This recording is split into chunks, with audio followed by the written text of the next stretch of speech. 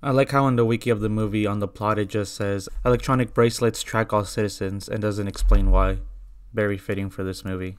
I have a bad feeling about this. I am a firm believer that human is real. So, quick recap this fucking shit is about a world where you can only have one child and these seven siblings are trying to survive. You'd eat anything. Pig, dick on a stick. You'd buy it and you eat it. That already sounds pretty dumb, but wait, it gets even dumber. Let me explain how the whole movie kicks off. So there's this overpopulation problem in the world, right? So in order to fix that problem, they create food that grows in abundance by adding some special enhancements. I guess there's also like this drought that's happening that's affecting the food, but bottom line is Too many people, not enough food. But guess what? Now there's a side effect where women are giving birth at a crazy amount, and so now we're back to square one because there's an overpopulation problem again.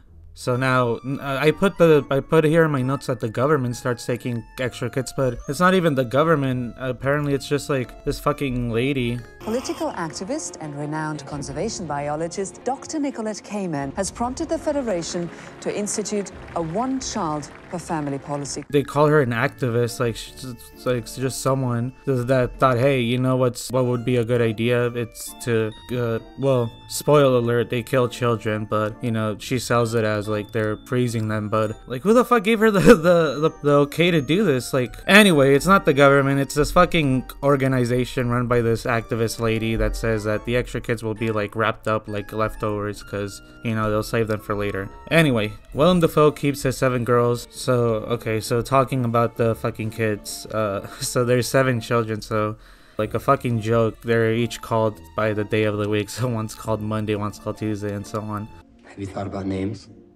Well, there are seven Monday, Tuesday, Wednesday, Thursday, Friday, Saturday.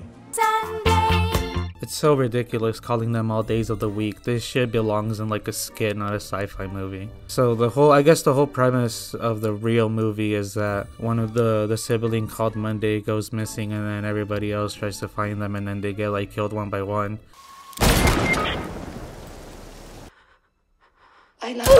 I love you. It's and but it turns out that Monday was the one that she didn't like disappear. She was actually helping the government. It's some or some stupid shit like that. So the whole movie is the sister is trying to figure it out. I think she did it for their work benefits, like health insurance or some shit. Like she just wanted to live a little better, so she sucked corporate's dick. I can see it working, but uh, it just does. It's so fucking horrible. It's so cliche. It grabs your hand through the whole movie. It doesn't let you think about it. It just tells you what to think. Like you don't need to explain everything to us. It thinks the audience is so stupid. We did everything we could. How do you plan on hiding this? How will you cope? Well, then it turns out you're a frigid bitch. Just because I find you repulsive. Hmm. Really? Pot brownie? I don't want to die. I don't want to die. I'm so sorry. No. For Sunday. Why would Karen Settman illegally transfer millions of euros into Nicolette Cayman's campaign fund? I have a bad feeling about this.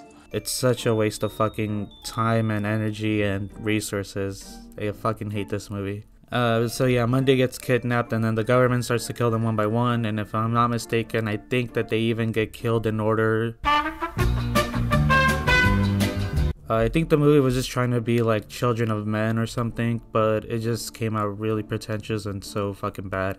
Um, there's useless technology throughout, like they have um, holograms or some shit, but they they don't have any real use. You can just substitute them with like touch screens, and it would have had the same effect. There's a bunch of movie cliches. Holy shit! If you've seen any movie, you've seen this movie. I have a bad feeling. The only thing I really liked was Willem Dafoe because I just like Willem Dafoe, but you know, he was probably there on set for one day and recorded all the shit and he said peace. There's, it's very hard for me to give compliments to this movie. I didn't even like the action. The action was so fucking boring, predictable. Uh, I think shaky cam. It's been, I've been wanting to talk about this movie for so long. Like, since it came out, like, I remember watching it like in 2017, uh, the weekend it came out on Netflix, and I just thought it was just so fucking horrible and i just never really had a chance to express that. But yeah, it's just been on my mind for so long. Every time I think about it, I'm just like, yeah, that's a that's a piece of shit. Yeah, it just fucking feels like Hunger Games, but worse. You know, just it's a wannabe sci-fi movie where it just fails at every turn.